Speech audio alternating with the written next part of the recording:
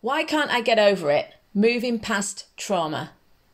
Hi, guys, welcome to today's Spiritual Candy podcast. So, today I want to talk about trauma um, and how it might be affecting you, how it affected me in my life, and how to deal with it. This is a big thing. Loads of people come to me saying, Why can't I get over it?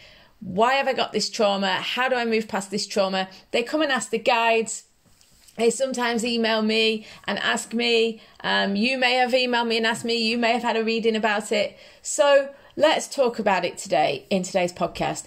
I want to start this with an obvious disclaimer.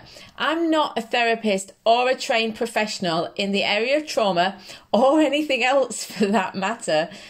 Uh, so, what are my credentials for those of you who don't know me? So, I have a master's degree in the philosophy of mind.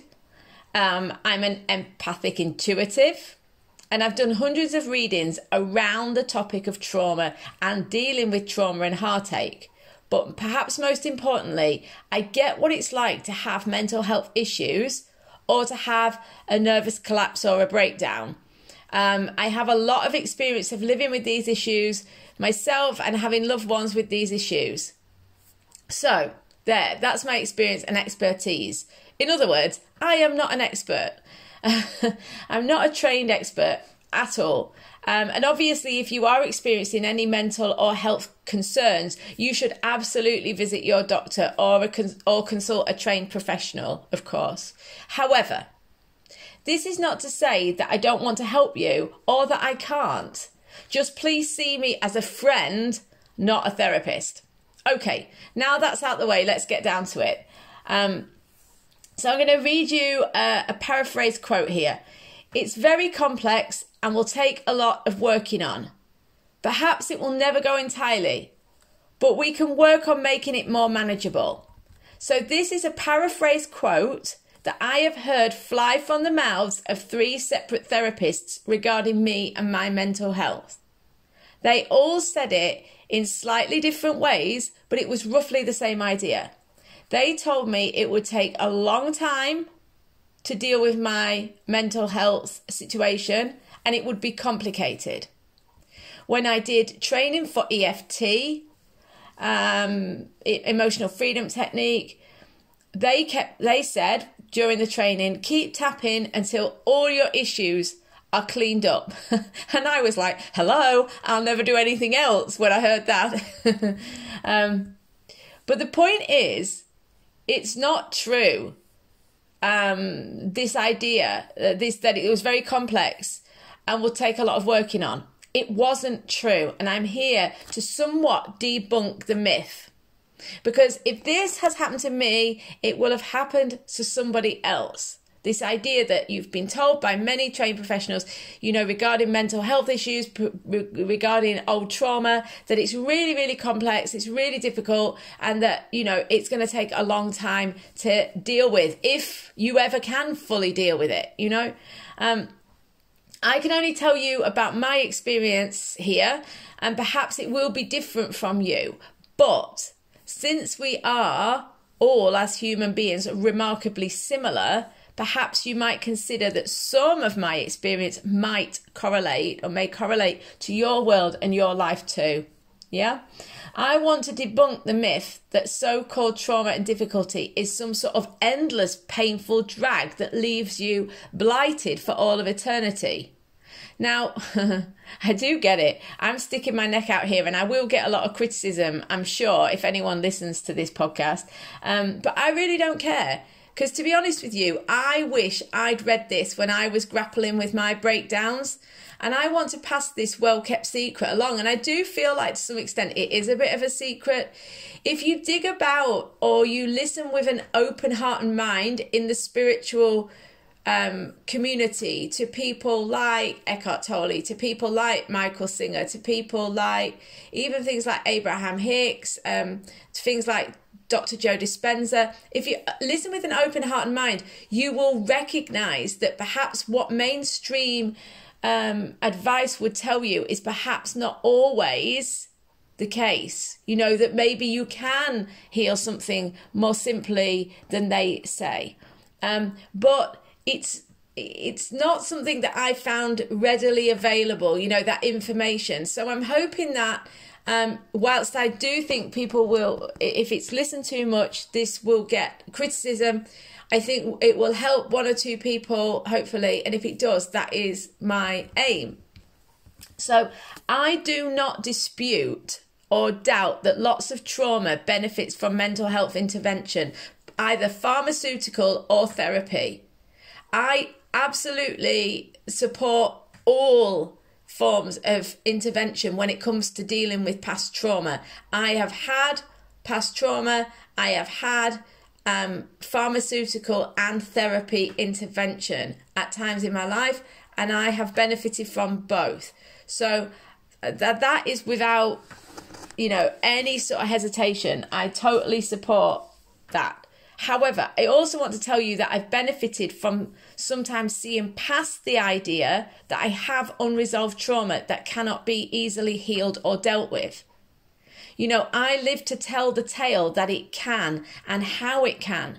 So, you know, if you're at a position where you've got like a um, an unresolved or you feel somewhat still debilitated or disabled in some way by a past trauma that doesn't seem to fully have healed. You know, you still can't fully get over it.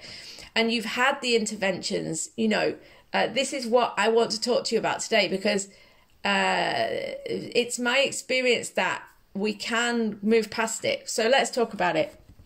Um, I'm not suggesting that you shouldn't have medical intervention. That's what I really want to make clear for mental health problems, or that what I'm suggesting is an alternative. I'm suggesting that there are many extra things that you can do that might shift a lot of the so called unresolved issues regarding trauma that you may be having. So, to start with, I want to talk to you about secondary pain. Let me explain what I mean by this.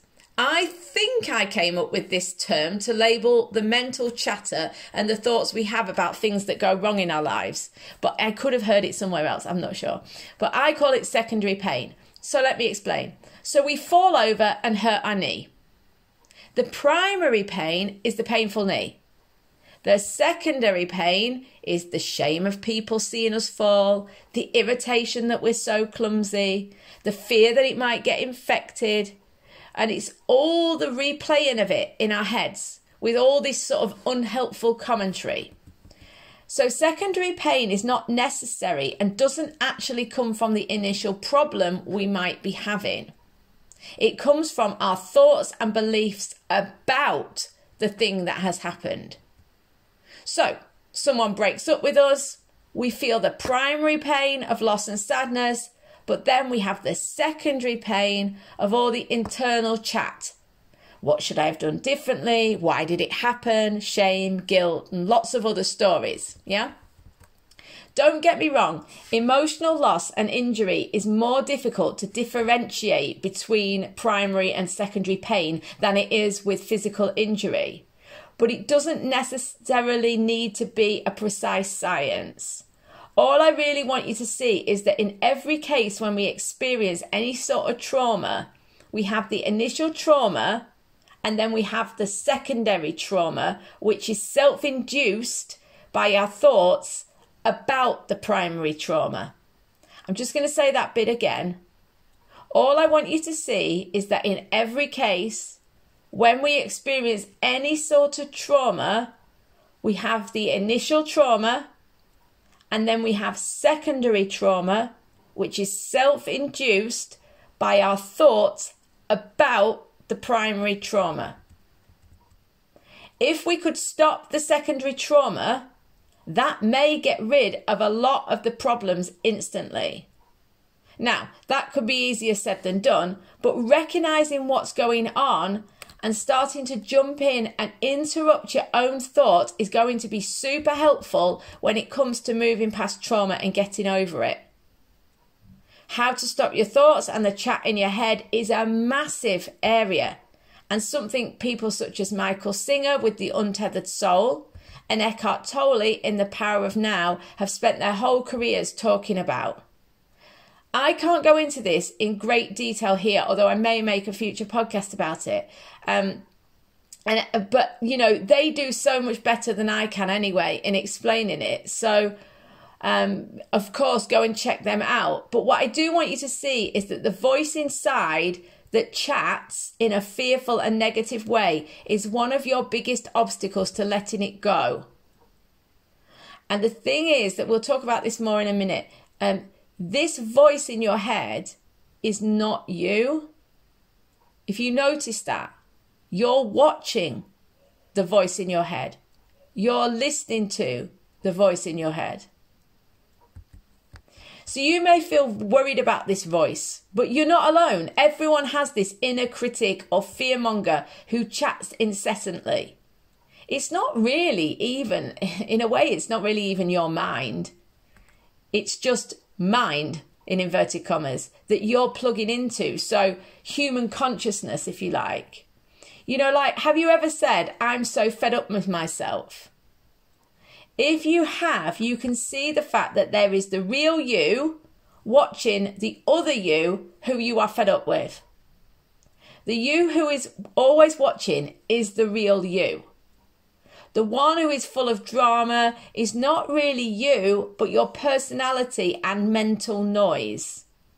So, like I said, I don't have the time or space to say much about it here, but as I said before, I urge you to check out Eckhart Tolle's YouTube channel and start learning about how the voice in our heads is perhaps the biggest barrier to moving past trauma. So, um, check the link out. I will leave a link to Eckhart Tolle's YouTube channel in uh, the description below. So, the thing to see is that our minds don't always tell the truth. In fact, if your mind's anything like my mind, my fearful chatter almost never tells the truth. Pay attention. It talks negatively all the time. It makes things up, it jumps to conclusions, and warns you constantly about things that almost never happen.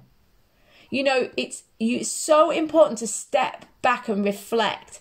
Your mind is not a reliable source of information and generally makes us quite unsettled at best. It is the voice that is creating all of this secondary pain. So, what are the reasons why it does this? Right, again, that's a massive area and we can't get into it here. It's too long to answer. Um, but just see that it's not to be trusted or listened to without question. That's not saying to swing the pendulum right to the other side and say, oh, our minds never have anything helpful to say. Well, clearly that's not true. Um, but to understand that not every thought you have is the truth or telling you something that's helpful. You know, most of the times our minds are telling us something about something that's already happened or that we are worried may happen. You know, it's not happening now. Um, but our bodies don't know the difference between an imagined event and a real one. So every time we allow our minds to run into the past or the future to some sort of horrible event, we are literally repeating our trauma or traumatizing ourselves if it's something that hasn't happened yet. So I do agree that when you have experienced something terrible, there is plenty of evidence that it needs to be heard, processed, and sometimes actions need to be taken. That is a given. But what happens when, like with me, you have talked about it already? You've had the therapy, you've done the tapping and the meditations, and it's still as annoying as heck and it hasn't gone. So that's what I want to talk to you about today. Here's what I did. When your head chirps up with some fearful thoughts, ask yourself the following things Is it true? Sometimes the mind lies. And the biggest problem is that you have a habit of listening. As soon as you start questioning your thoughts and asking yourself, is this true? Can I let it go? then you can do so. And and this can sometimes like eradicate a huge amount of the issues that you've been having. The next point is is it happening now? It usually isn't. You know, when I say is it happening now, you know, if your head chirps up with some fearful thought or some scary vision or some horrible emotion, you can look around you. Is the problem happening now? It usually isn't. We're nearly always either lamenting over the past or a potential future. So that's the next thing to notice. And notice it's not happening now, which then feeds into the is it true? You know, it's not happening now. So it's not true. The next thing to ask yourself Am I being seduced by my mind? This was a big one for me. Are you being convinced by your mind's thoughts about your thoughts? now, before you're like, what? What's she on about? I know it sounds complicated, but stay with me. So, let me explain. You have a thought, for example, I am scared. Then you have more thoughts about being scared, such as, you see, you'll never get over it, you've been scared for so long now, it's just the way you are, etc., etc. So your mind can play many roles at one time. Listen to that again. Your mind can and does play many roles at one time. So it can convince you that one of the more, in inverted commas, sensible voices is the real you. But notice carefully that your true self is just back there watching the circus unfold. So that's what I mean by you're being seduced by your mind. Your mind can play all these different characters and kind of have you in knots. So you feel overwhelmed and you feel out of control. So, Kat, what's the solution you may be saying? Well, basically, stop thinking. That's the solution. Stop thinking. so, okay, we can't do that. Also, we don't want to, but we do need, still need to think about things, don't we? You know, like, it's all right saying, well, I need to stop my mind, I need to stop thinking all the time. But we do need to think because we have to think about picking the kids up or changing the filter or catching a plane. You know, we have practical things to think about, but we don't need to think all of the time or follow and believe every thought. That's revolutionary. If you can really take that on board and start you don't have to watch it every single thought, and it would be impossible. But just whenever you get, whenever you remember, just notice what am I thinking now? And you'll see that you've got all these bad habits of thinking certain things and then following each thought. So let's talk about the solutions. So, the solutions I put in place in my life are as follows. Number one, don't believe your fearful thoughts. So we talked about this already. When something comes up, check if it's true or needs your attention. Once you've established that it doesn't, let it go. And every time it comes up, just watch the thought and accept it. Perhaps it will dissolve, perhaps it won't. But whatever, you're not believing it anymore, so it doesn't matter. Do don't think just because the thought won't go away easily that this means you're somehow mistaken and perhaps it is true and perhaps you do need to think about it. That's the way your mind hooks you in so that you want to keep thinking about it and thinking about it because the mind kind of feeds on that anxiety and pain. You know, so you are going to have to be really disciplined. This is an important thing to mention. You know, I've found in my life the biggest and help, most helpful thing to getting over trauma is you got to be really tough and resilient. You got to be really determined to get past it.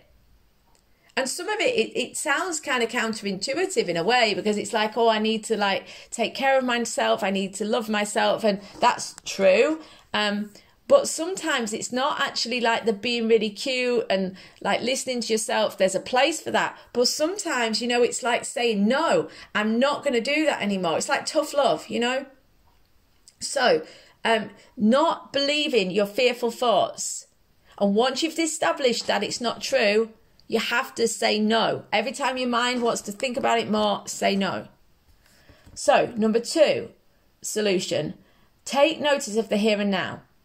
So when traumatized thoughts come up, you know, memories of the past or worries about it happening again in the future or something bad happening again in the future, Remember that you are respecting your thoughts, but you're not getting into them anymore.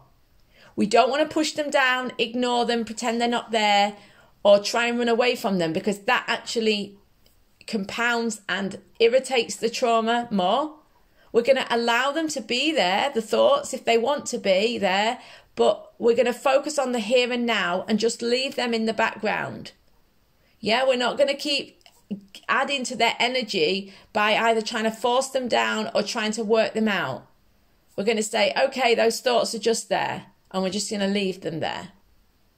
Number three, for the solution, don't be scared of being scared.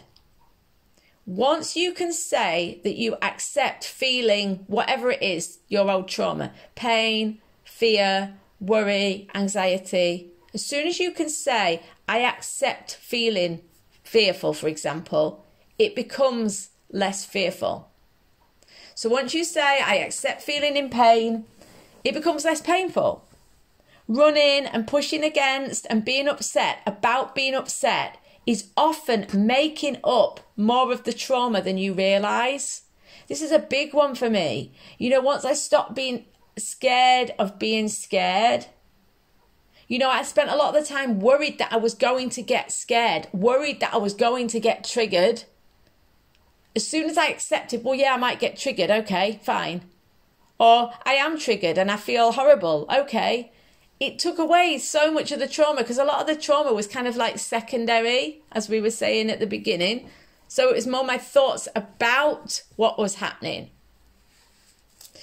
So, number four solution stop thinking that having pains or problems makes you broken. This is such a horrible, horrible thing in um, Western society, in the world right now. There's this concept. You know, it's a lot of it's to do with marketing, media, social media.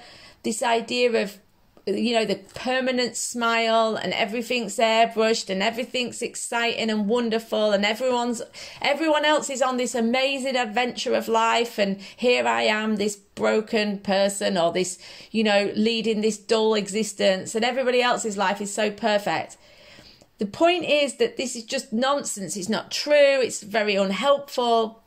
And you need to understand that thinking that because you have some sort of darker side or darkness or difficulty or pain or problem that you are broken. No, you are, it doesn't make you broken. What it does is it makes you like me and like every other single person in the world. there is no hero and victim, there are just people. We're all the same. We have dark and light. We have up times and down times. There is no rescuer on a white horse because no one is perfect and fallible.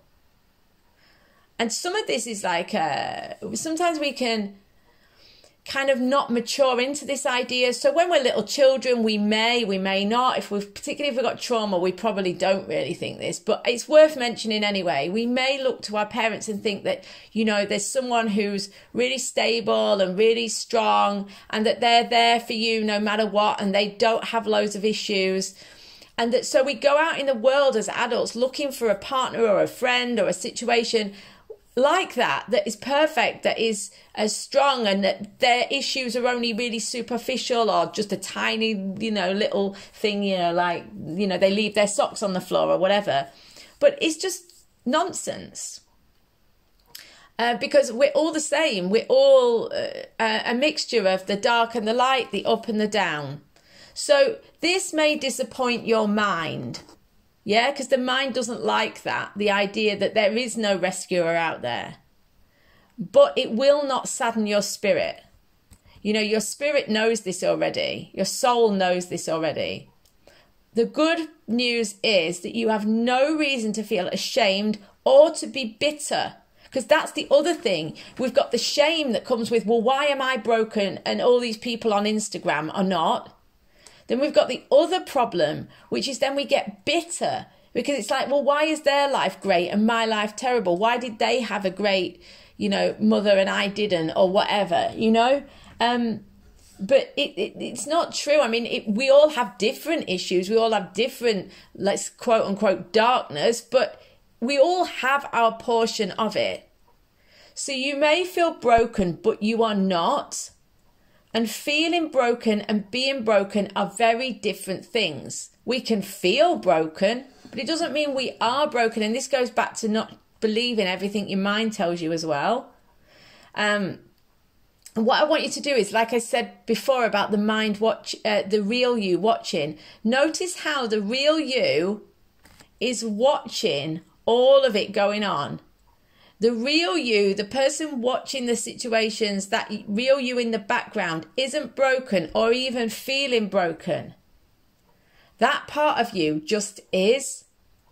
And the more you can recognize that part of you, as you keep noticing that part of you that's kind of stood in the background, always watching, that's kind of your inner wisdom, your higher self. There are many ways of explaining it. The real you, the spirit in you, the soul of you, whatever. The more you recognize that, the more you will start to identify with that part of you that's kind of always balanced and calm.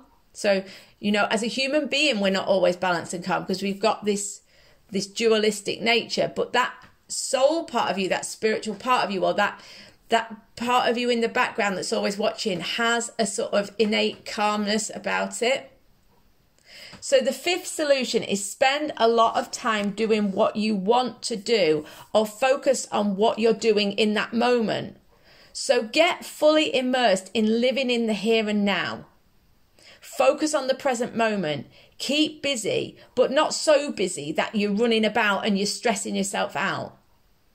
When you have free time, fill it with things that make you laugh and smile. The sixth solution is keep a gratitude journal and spend five days, five minutes a day writing in it. So I usually do a few minutes in a couple of minutes in the morning, a couple of minutes at night just listing things you're grateful for, things that have gone well for you in your day, etc. If you still feel traumatized and can't get over it, what I'm asking you to do is consider the possibility that you have a bad habit going and you need to shift it. So, this is another way of looking at trauma. Yeah? That's really what I'm trying to say with those six solutions. It's about refocusing yourself, it's about reframing the way you're seeing the situation. You know, and like I said at the at the beginning, the disclaimer, you know, I'm not saying don't get mental health support. I'm not saying don't take drugs or pharmaceuticals, you know, uh, prescribed pharmaceuticals. I'm not saying any of those things. But what I'm saying is if you've had the therapy and processed what happened, Perhaps you're actually just stuck in an old way of being. That was the case for me. I'm sure there are lots of people out there who are the, in the same boat. So, and the thing to bear in mind is that when we think things over and over again, they become ingrained and habitual. You know, that's how we drive without thinking, or we do two things at once and hold a conversation at the same time. We're on autopilot. So, if you've been dealing with an old issue or trauma for many months or longer, perhaps being traumatized has actually just become a bad habit. So, you know, you've done the therapy, etc., but now it's like a habit that you think those thoughts or a habit that you behave in a certain way. And I'm not saying that's going to be the case for everyone, but if you've had the therapy, you're taking the medication or whatever, and you know really, well, why am I still doing this or why am I still being like this? It could be that, like me, you're just in the habit of being that way. Um, it was just my experience, you know. Don't shout at me if it's not it's, not the case for everyone. But I really want to make this podcast today for those of you who have like an unresolved thing that just doesn't seem to go. You've done all the work on it. You've done the meditations, the hypnotherapy, the acupuncture, you know, you've done everything and it's still there. And you think, well, why is it still there? Um, you know, I had gotten used to feeling a certain way and thinking certain thoughts. And so I had to make a massive change in the way I lived and reacted to my own mind in order to make the change. You know, in truth, my issues weren't still there because they were very complex, like the therapist had told me although they may have been, I suppose, but they were there because I was in the habit of thinking them. That's the truth for me. You know, nevertheless, the trauma was very real. At the time, it was very, very real and it reignited every time I replayed it in my mind. It made me feel trapped, traumatized, and horrible. But after months of thinking differently by intercepting my thoughts and doing new things in different ways to create new habits, it started to change. It hasn't all gone, but it is enough to know that I'm onto something with this. You know, it, it's really made a massive difference. So does this mean that therapists, the therapists were wrong in saying that it was a lot to deal with and it would take a long time to work out? You know, I'm not qualified to say. What I am qualified to say is that Eckhart Tolle's explanations of the mind and how we tell ourselves lots of complicated stories really resonates with me and my old trauma, and it's become almost a mantra for me.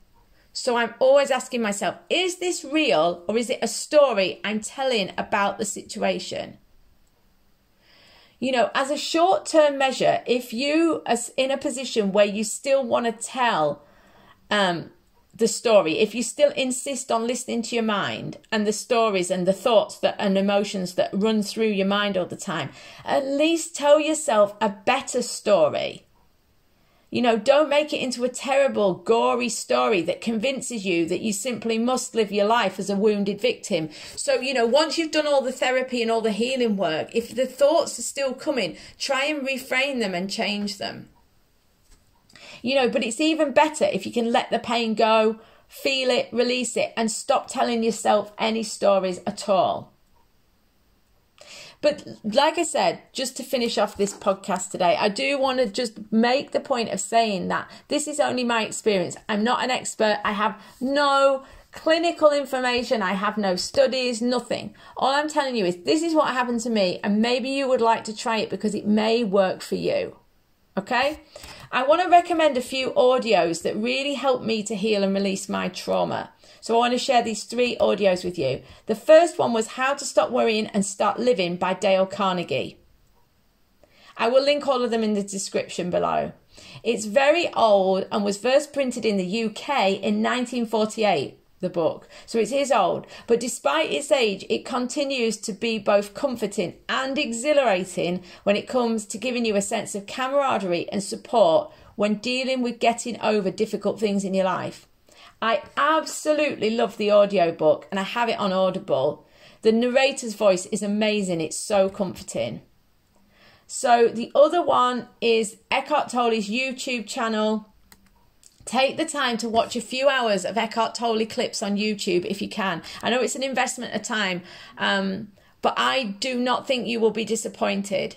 His explanation of how the mind talks and tells us stories and how it seduces us is so on point. It might take you some time to get into, and if you are not going through a spiritual awakening, you know, if you're not a spiritual person, and I don't mean religious, I just mean spiritual, if you're not a spiritual person at all, you perhaps may find it doesn't resonate at first. But I'd encourage you to stick with it for a while to see if you do start to get it, or come back to it when you feel compelled, if you feel compelled in the future. Eckhart Tolle's work is the best spiritual awakening information out there, in my opinion. So the other one I would recommend is Kim Eng. Kim Eng is Eckhart Tolle's partner, and her few videos on his channel are absolutely brilliant. Her explanation of how to deal and move through and process trauma give really practical advice that goes really deep. A lot of information about getting over and releasing old pain is very superficial. You may have found that that it means and it means that we're kind of left with a sense of emptiness or like an incompletion kim eng addresses the trauma on a physical emotional and spiritual level so that the releasing and the healing is really deep so I would encourage you to check out the her YouTube videos, which are on Eckhart Tolle's channel. Guys, I hope this information was helpful to you too, today. Do remember, as I've said many times, I'm not an expert. All I'm doing is sharing my experience of how I finally released my so called unresolved trauma um, in the hope that one or two of you who are in a similar position where you've done all the therapy, you've done all the work that you're supposed to do, and it's still not shifting. And I'm hoping that one or two of you out there will try this and find that it works for you too. Loads of love, guys. Have an amazing week, and I'll see you on the next podcast.